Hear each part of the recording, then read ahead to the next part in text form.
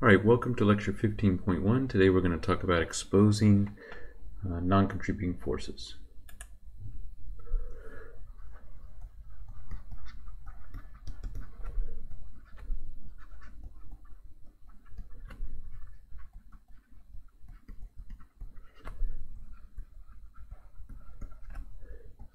All right, so recall that uh, non-contributing forces um, are not present when we formulate Kane's equations.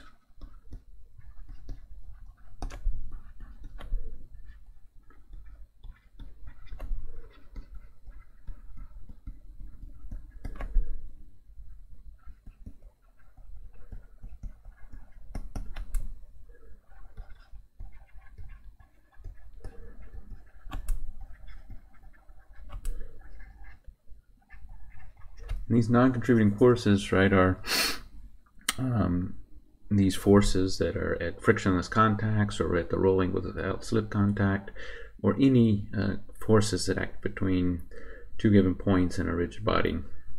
So if you would like to know like what are the internal forces in a rigid body while it's in motion in this multi-body system, um, we may be interested in those. So you may be interested in calculating these even though um, we eliminate them from the equations of motion in general.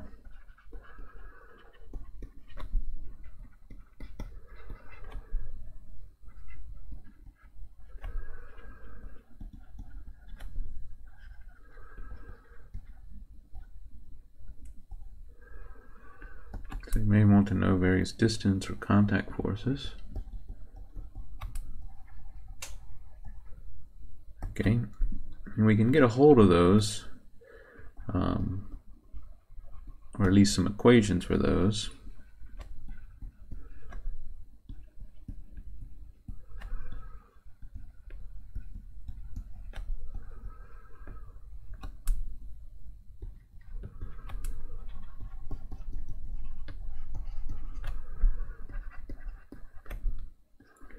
We can get a hold of equations for any of these non-contributing forces in a multi-body system by introducing something called an auxiliary generalized speed.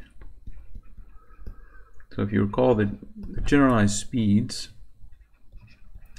are really the and the partial velocities associated with them are generally the uh, are the magic or the secret to getting a hold of Kane's equations. And uh, we can introduce some new speeds to actually to our benefit to expose some of these forces. So um, forces and torques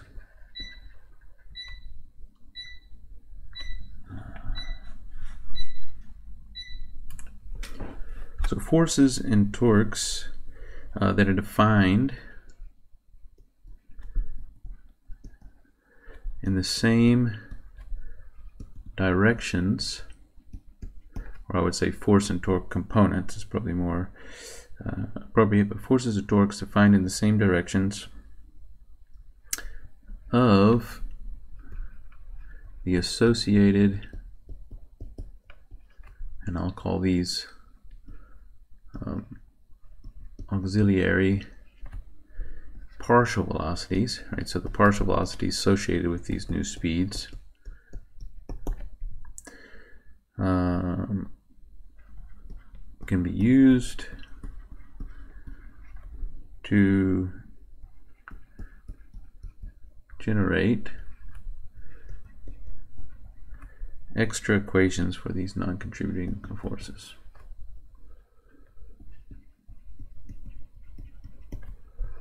So extra equations we need. Right. So that's the basic idea. All right, we're going to introduce some new generalized speeds, uh, but do so in a way that uh, exposes some of these uh, forces. So, uh, and I guess one way to recall this, we did the example that with the double pendulum that showed how the distance forces in the double pendulum would be eliminated. Um, but if we introduce some auxiliary generalized speeds in the directions of those distance forces and leave those in the equations, we can actually expose them. And, I, and we're going to use that as an example. here to see how it's done, which I think will be the best way to show this. So we're going to have a simple double pendulum.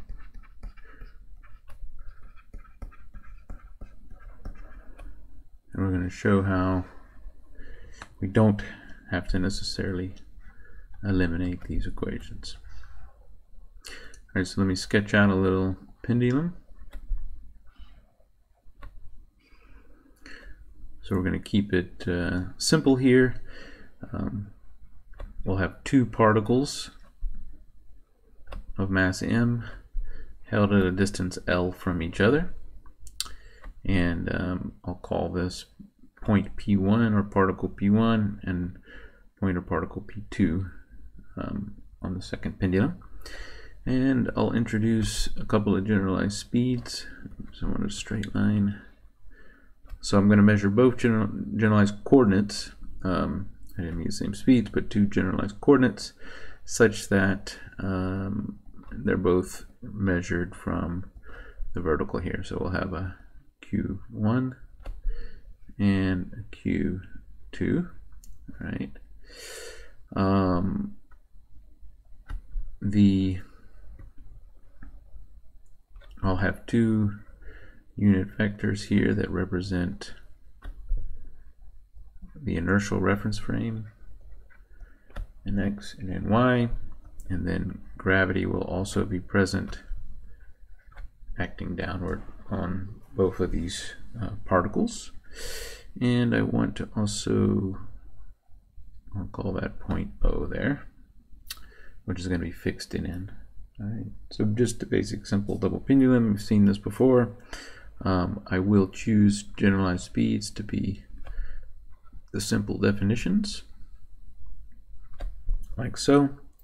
And then I should be able to now write um, the velocities of each uh, point of interest. So the particle, or point one, uh, and I'm going to write everything in terms of the in frame, and I'll use abbreviations here. Cosine of Q1 uh, in the nx direction plus sine of Q1 in the ny direction.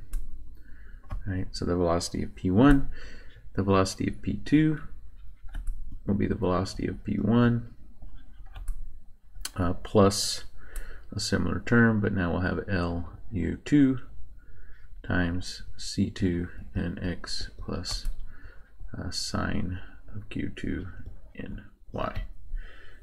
Right. So the two basic velocities, we've written them in terms of only the generalized speeds there. And then I can also write the accelerations. So we'll have a tangential and a um, centripetal component. So the tangential component looks like this.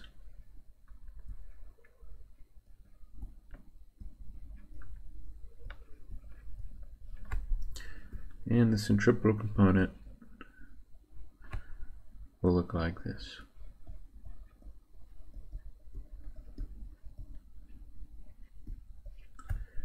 Right, and then acceleration of P2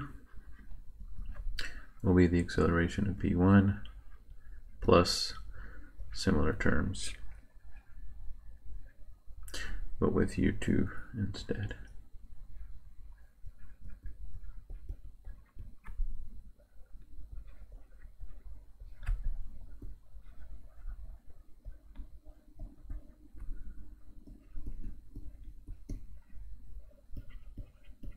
All right, so those are the velocities and accelerations, all written in terms of the generalized speeds and their derivatives. I can then write the partial velocities that we're going to need, right? We're going to need the partial velocities of each of these two masses.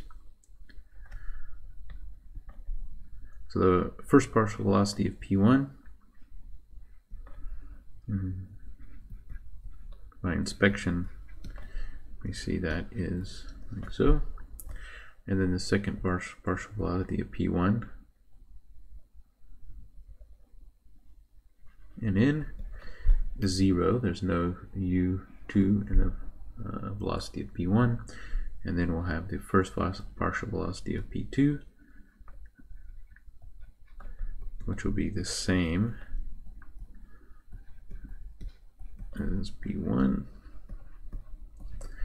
And then finally the second partial velocity of P2, which will be LC2NX plus S2NY. Right? All right, so those are our partial velocities. Um,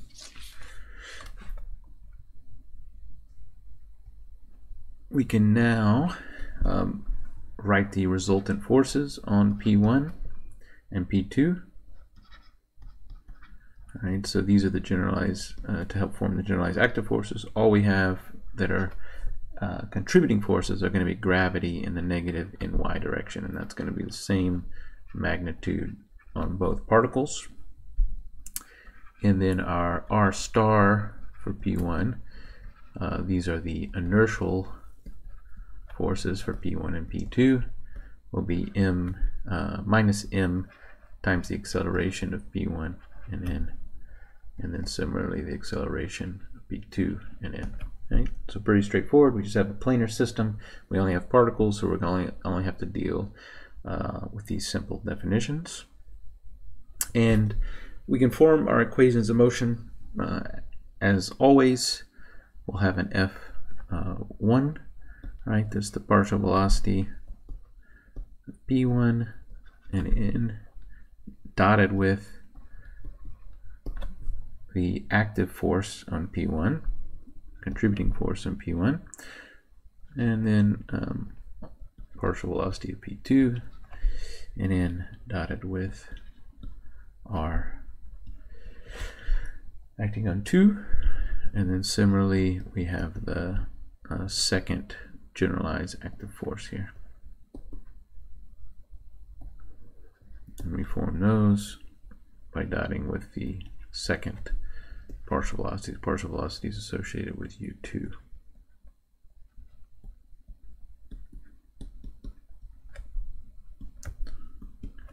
All right, if you take a look, um, we've got only these ny components, so we'll just take the ny components um, for both of these and um, if we do those we'll get the result will be 2 mgl sine of q1 and um, minus mgl sine of q2 there for the generalized active forces. Similarly, we can work out our generalized inertia forces. So we got one for the first generalized speed.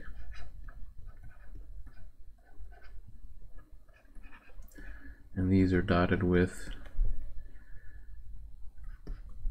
the R star terms for each of the particles. Like so. So F1, if you work uh, all that out from what we wrote before, it should look something like this.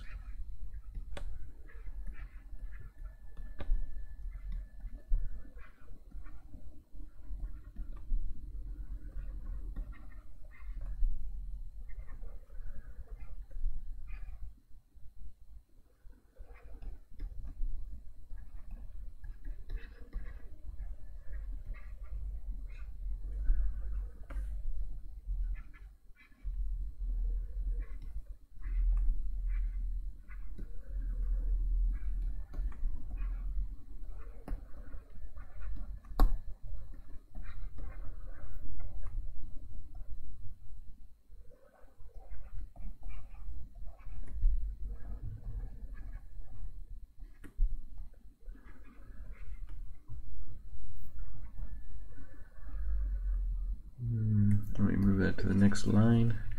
So another minus, and then a m l sine 1 l u1 dot uh, s1 plus l u1 squared c1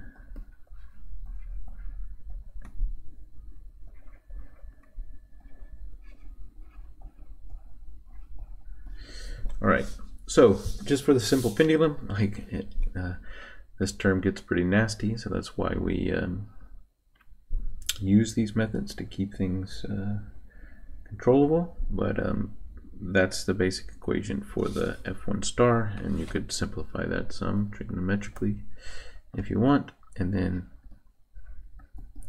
uh, F2 star is going to be the using the partial velocities with respect to U2.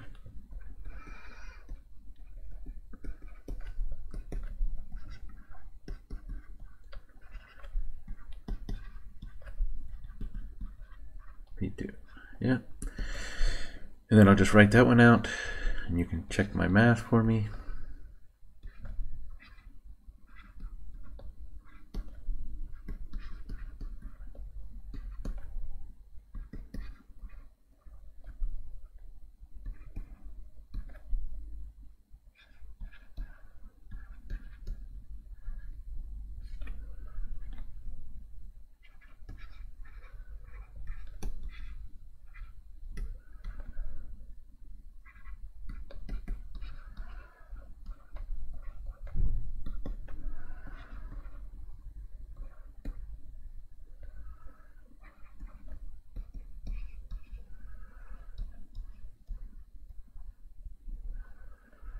Okay, I believe that's it there.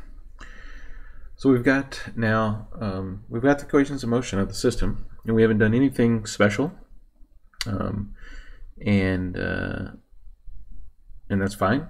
We can use these, we can integrate the system, uh, simulate it, whatever we want to do. Uh, but we now want to figure out how can we expose a non-contributing force, right? So I'm going to propose that we look at what uh, these are just two uh, point systems. So all of the forces are going to act along the um, uh, these bars of, of length L. So we'll have some kind of distance forces that, that keep uh, M stuck to M and then and then P1 stuck back to the point zero.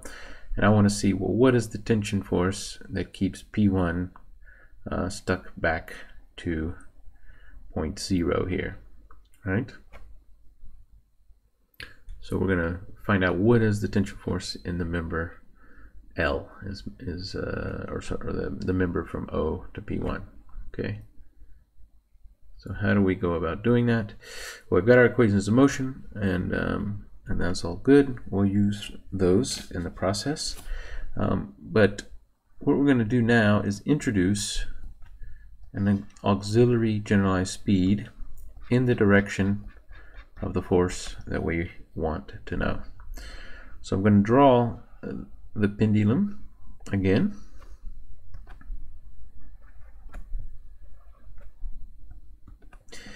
And then I'm going to cut the pendulum here at the joint P1.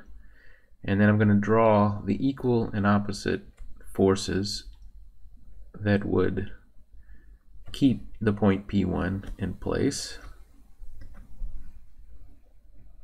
All right, so we're going to call this P1. So if I were to cut this and separate the two, um, then I'll have some force equal and opposite with a magnitude to T that is keeping P1 stuck to the bar L, right? And um, and then I'll draw the rest of the pendulum as I did before. Like so. P2 there. Okay. So we basically um, are looking for this force T and how we're going to make this uh, imagine this is that um, we're going to give P1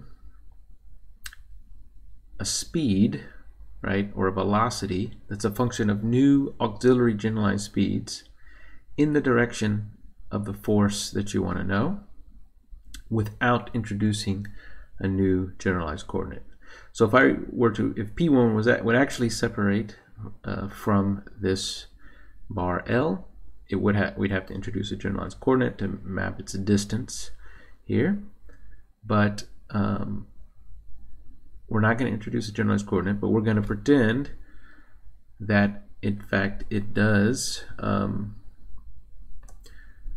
move away at some uh, new speed relative to its prior location. So I'm going to indicate this with a uh, little arrow here that we're going to call this a, U, a speed u3 in the direction along the length of that first member in the same direction as the uh, force t. Um, okay, so these, uh, let's see if I can do this. So we're really going to look at the coupling between these two elements here. We've got this force acting to pull P1 back and if I imagine that it has some uh, velocity that separates it and I give it a generalized speed to capture that but no new generalized coordinate then this u3 is in the same or in the opposite direction as the component t but it is aligned with that unknown force that we want okay? So this motion here we're going to have some partial velocities associated with this new u3 and uh, if I dot them, then with this force, I will get some equations that have that force in it, right?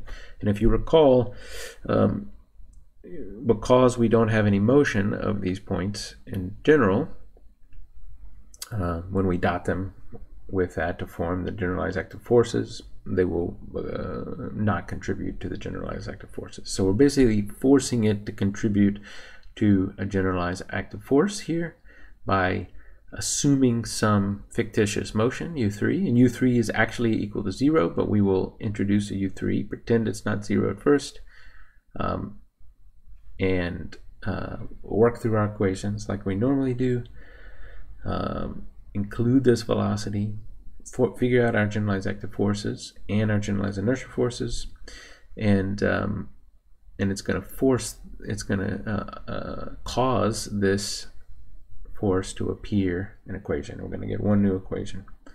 All right, so that's the basic premise. Okay, so the next step is to write the velocity of P1 that now includes this U3 component. Right. So we will um, now rewrite the velocity of P1 in N, and I'm going to put a little super uh, subscript A there to indicate this is for uh, including an auxiliary speed. And we would have the same velocity that we had before.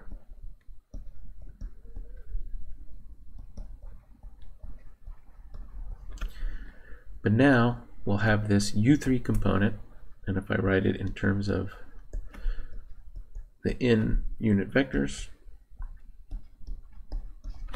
it would like look like that. Okay, and then I'm going to write also for P2 an auxiliary speed. And it's an auxiliary speed because it's a function of P1 the velocity of P1 in A which includes U3 and then I'll add um, the same elements here. And notice that we haven't introduced a new generalized speed so uh, sorry a new generalized coordinate. So there is no other change to the velocity uh, other than adding this uh, U3 component uh, here. Okay, so um, okay, so we've written the two velocities like so, and we're not going to change anything about the partial velocities that we've had before because we've already figured out the equations of motion. Nothing changes about them. But we are going to introduce um, some new partial velocities associated with our auxiliary generalized speed. So I'm going to have a V3 P1 and that would look like so. Right and then uh, one for particle 2 associated with U3 and that's going to end up being the exact same thing all right, so we just create new partial velocities here associated with this motion that we've introduced, that's this fictitious motion. And these two partial velocities we will use now to calculate a new generalized active force and a new generalized inertia force. Um, to do so, we're going to augment our uh, resultant forces, right? This resultant force that acts on P1, and I'm going to put a subscript A there to know that it's uh, tied to this auxiliary speed. Um, we have uh, a T that is acting on this in addition to the contributing force of mg. So I'll say mg in the ny, right? We know that's acting on, on that particle. And we also have this uh, tension force that's acting in this direction. Right, so I include that. Um, we also will look at P2, but this one doesn't change. It is only mg and y. We don't have any additional forces uh, that we're trying to expose acting on P2. So we only include uh, right here this um, tension force uh, looking at that particle P1. We've got mg and t acting on, on that and, uh, and we add that into the resultant for our active force. Okay. Now we introduce a new generalized active force associated with U3, which would be V3P1 in dotted with this new resultant force, right? That includes this uh, force T that we're trying to expose, and then V3P2 and then dotted with RAP2. Okay, if we work this out, um, we've got this term here dotted with this term, and if you do the math there, um, you'll see that we get for the first uh, portion here, mg uh, cosine of q1 minus t, and then this uh, second term will give us an mg cosine 1. And then that's simply 2 mg cosine 1, cosine q1 minus t. Right, so now you see that in our generalized active force, we end up with this t term in here because it's in the same direction as the partial velocities of p1 um, for the u3 component. So we end up with that present. All right. And then here, I guess another thing to point out, right, we used the auxiliary partial velocities and these modified um, active forces, resultants that are acting on the particles that include T. But for um, our F, our star term associated with U3, we uh, still use the partial velocities, the auxiliary partial velocities here, but the um, resultant inertia forces will not change. We'll use those um, as is because U3 is actually zero, so U3 dot will also be zero. Uh, we don't need to introduce uh, U3 or U3 dot into the R star term because we would just replace those with zero anyways uh, in the in the end, and they won't change um, and that won't change the result of the calculation. So the way this one looks, right, is V3 P1, and we use our prior R star, and V3 P2 dotted with R star P2. So this is going to give us the um, these inertial force contributions in the direction of U3 that we'll then associate with this new equation we're building. All right, so these um, are a little long. If we, I'll write those out though. The first component is um, just going to be L mu1 squared, right? The centripetal uh, effect there. And then that second component here will be Lm S1 uh, sine of q1 sine of q2 plus cosine q1 cosine q2 u squared u2 squared and then plus lm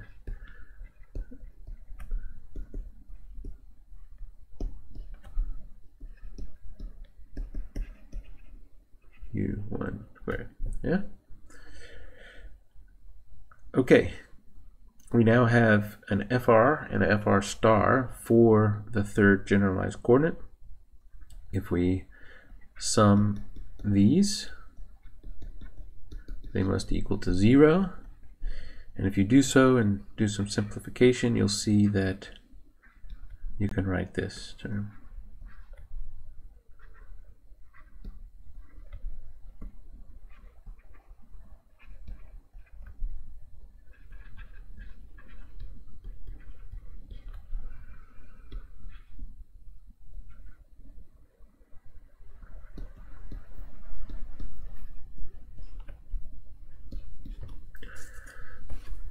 All right, so we get this equation here, and you can solve for t, in fact, and it's just this portion,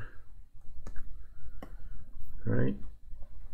So in that case, I can I can solve directly for t, and we can see that uh, this tension force right, is a function of, um, like there's a gravitational component here, uh, there is a, um, this two times this centripetal type component from the uh, first generalized speed. And then we've got these two pieces that are associated with the, I guess the centripetal, and did I miss, did I get everything there? Lm sine Q2, oh yeah, U I don't have a U2 dot. Supposed to be a U2 dot there. So this is a centripetal uh, type of component that's tied to both of the angles, and then this is a tangential type of component too, uh, with that U2 dot component there. But anyways, we, we get an equation now for that unknown force T. It's a function of in our case, um, it's some function of u2 dot, u1, u2, q1, and q2, all of these time varying components there. In general, if you find a non-contributing force, it could be uh, a function of all the coordinates, generalized speeds, and their time derivatives. But in this case, it's only a function of u2. Raise that up there. Yeah.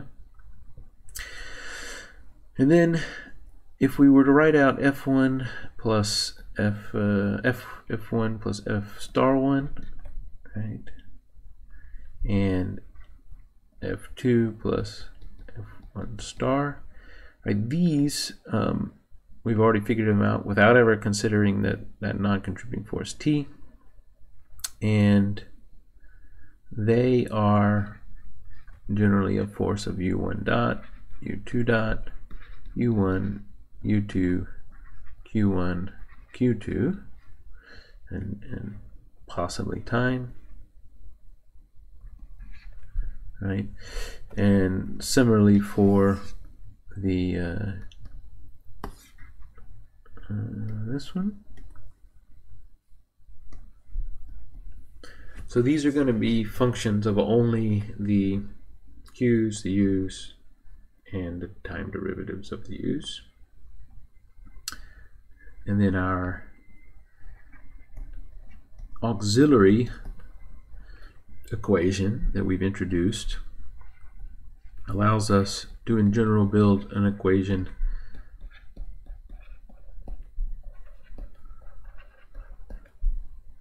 that will include whatever non-contributing force that we're interested in, right?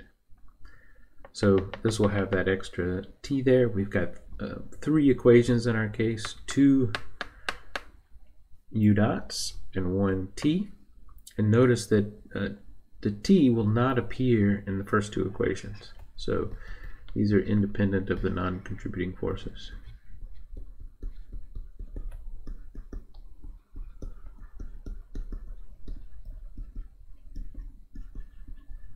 We've just added this extra equation that does depend on the u dots. And um, you can write those equations too in a form that looks something like this. So if I introduce a, a coefficient, linear coefficient matrix MA, then you have U1 dot, U2 dot, and then I can put T there, plus some vector GA, all equals to zero.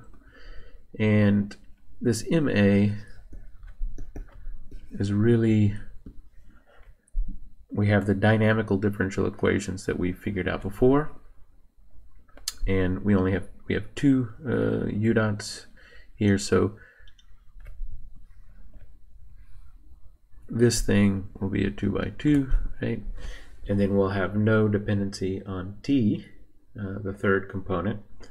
But then we'll have uh, here an m a term for u1 dot in general and an MA term for U2 dot and an MA term for that, that, that uh, non-contributing force.